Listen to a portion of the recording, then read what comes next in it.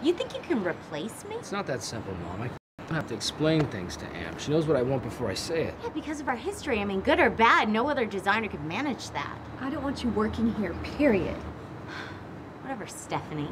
Excuse me? That's who you're acting like, Stephanie. Trying to control your son, who he hangs out with, bossing him around. I just want him to work with somebody a little more appropriate, Well, that's Rick all. wants to work with me, okay? He trusts and believes in me. I mean, why can't you guys just accept that I'm a better person now? Because it's not true. It'll never be true. You are who you are, Amber.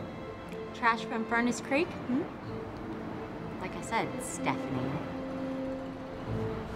I'm just saying that there's more to life than work. You need to get yourself a woman, man. I know. Just haven't found the right one yet.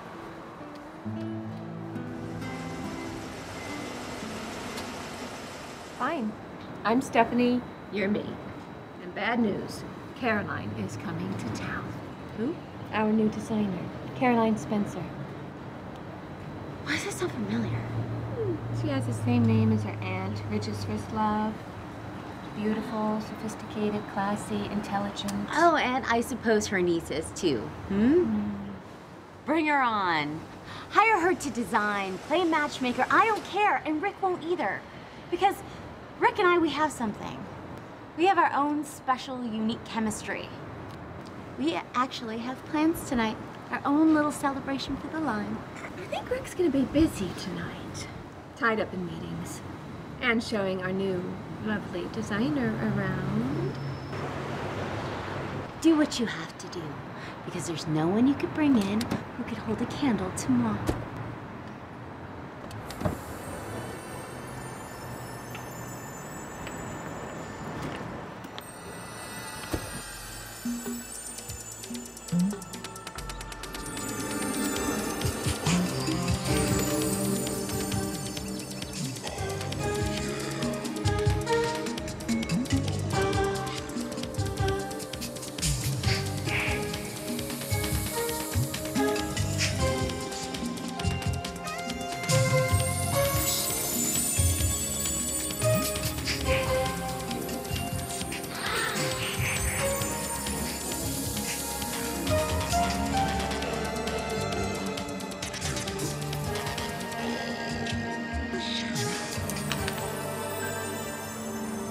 Caroline Spencer.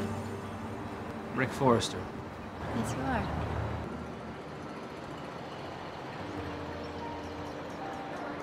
And you must be Rick Logan.